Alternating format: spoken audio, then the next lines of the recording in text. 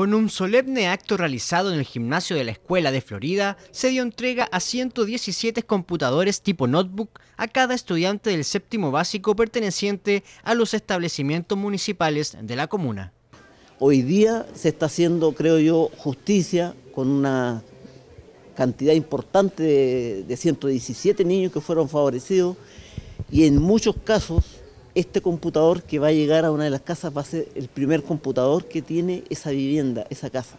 Fundamental porque para ellos es una, como bien mencionaron, ¿cierto? una herramienta que les ayuda para perfeccionarse y una ayuda a tareas, ¿no es cierto? Y sobre todo la conexión a Internet, que hoy es vital, fundamental para el apoyo escolar de los niños. Esta iniciativa proviene del Ministerio de Educación y ha beneficiado por cuatro años a los niños de la comuna con la entrega de notebooks de última generación, que se suman a los que ya se encuentran en los laboratorios de computación instalados en cada establecimiento de Florida. Esto se enmarca en una política del Ministerio de Educación que ha mandatado la presidenta Michelle Bachelet que apunta a mejorar la calidad de la educación.